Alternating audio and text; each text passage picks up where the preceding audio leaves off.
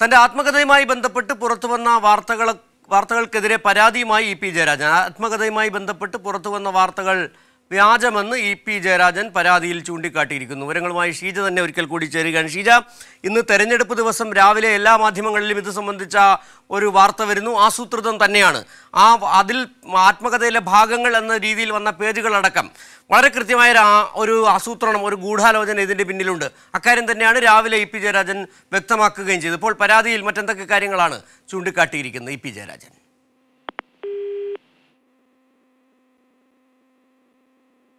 തന്റെ ആത്മകഥയുമായി ബന്ധപ്പെട്ട് പുറത്തു വന്ന വാർത്തകൾക്കെതിരെ പരാതിയുമായി E P Jayarajan E P Jayarajan D G പിക്ക് പരാതി നൽകി. ആത്മകഥയുമായി ബന്ധപ്പെട്ട് പുറത്തു വന്ന വാർത്തകൾ വ്യാജമെന്നാണ് ഇ പി ജയരാജൻ വ്യക്തമാക്കിയിരിക്കുന്നത്. ഇന്ന് രാവിലെയാണ് ഇത് സംബന്ധിച്ച എല്ലാ മാധ്യമങ്ങളിലും ഒരേ സമയം ആത്മകഥയിലേതെന്ന് പറയുന്ന ചില ഭാഗങ്ങൾ പുറത്തുവിട്ടത്.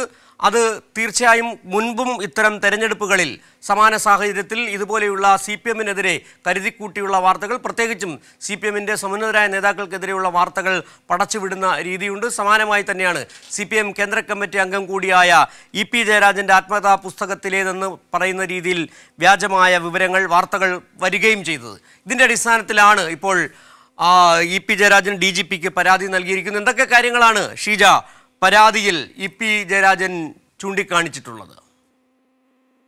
സിജു ഇന്ന് രാവിലെയാണ് ഇത് സംബന്ധിച്ചുള്ള വാർത്ത ചില മാധ്യമങ്ങളിൽ ദൃശ്യമാധ്യമങ്ങളിലൂടെയും പത്രമാധ്യമങ്ങളിലൂടെയും പുറത്തു വരുന്നത്. ഇതിൽ പറഞ്ഞ ഈ ഇ പിയുടെ ഈ ആത്മകഥയുമായി ബന്ധപ്പെട്ടുള്ള വിഷയത്തിൽ ഇ പി തന്നെ അടിയന്തരമായി ആ വിഷയത്തിൽ പ്രതികരിച്ചിരുന്നു. അതിൽ അദ്ദേഹം പറഞ്ഞത് താൻ ഇതുവരെ എഴുതി തീർക്കാത്ത ആത്മകഥ എങ്ങനെയാണ് പ്രസിദ്ധീകരിക്കുന്നത് എങ്ങനെയാണ് മാധ്യമങ്ങൾക്ക് ലഭിക്കുന്നത് എന്നുള്ള കാര്യം ചോദിച്ചിരുന്നു. ഏതായാലും അതിന്റെ അടിസ്ഥാനത്തിൽ നിയമ നടപടി ആ താൻ സ്വീകരിക്കും എന്നുള്ള കാര്യവും വ്യക്തമാക്കിയിരുന്നു. ഇപ്പോഴേതായാലും ഡി ജി പിക്ക് അദ്ദേഹം പരാതി നൽകിയിരിക്കുകയാണ്. ഈ പരാതിയിൽ പറയുന്നത് താൻ ഇതുവരെയായി എഴുതി തീർക്കാത്ത തന്റെ ആത്മകഥയെ സംബന്ധിച്ചുള്ള കാര്യങ്ങളാണ് വാർത്തയായി ഇപ്പോൾ പുറത്തു വന്നിരിക്കുന്നത്. അതുകൊണ്ട് തന്നെ പ്രത്യേകിച്ചും ഉപതെരഞ്ഞെടുപ്പ് നടക്കുന്ന ഒരു ദിവസം തന്നെ ഇതുമായി ബന്ധപ്പെട്ട് ഇത്തരത്തിലുള്ള കാര്യങ്ങൾ പുറത്തു വന്നത്.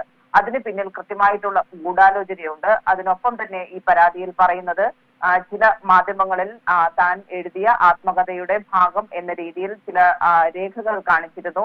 ഇത് തീർത്തും വ്യാജമാണ്. അതുകൊണ്ട് തന്നെ ഇതുമായി ബന്ധപ്പെട്ടുകൊണ്ട് ഗൂഢാലോചനയും വ്യാജരേഖയും സംബന്ധിച്ചുള്ള കാര്യത്തിൽ സമഗ്രമായ അന്വേഷണം വേണം എന്നുള്ളൊരു ആവശ്യം തന്നെയാണ് ബി ജെ പിക്ക് നൽകിയിട്ടുള്ള പരാതിയിൽ ഇ പി ജയരാജൻ ആവശ്യപ്പെടുന്നത്. സിജു ശരി ഷീജയാണ് വിവരങ്ങൾ നൽകിയത്. തന്റെ ആത്മകഥയുമായി ബന്ധപ്പെട്ട് ആത്മകഥയിലെ ഭാഗങ്ങൾ എന്ന രീതിയിൽ പുറത്തു വന്നത് വ്യാജമായ കാര്യങ്ങളാണ്. ഇതിൽ ഗൂഢാലോചനയുണ്ടെന്നാണ് ഇ പി ജയരാജൻ പറഞ്ഞ് ഇക്കാര്യം ചൂണ്ടിക്കാട്ടി. ഡി ജി പിക്ക് പരാതി നൽകുകയും ചെയ്തിരിക്കുന്നു. ഇ പി ജയരാജൻ വിവരങ്ങളാണ് ഷീജ നൽകിയത്.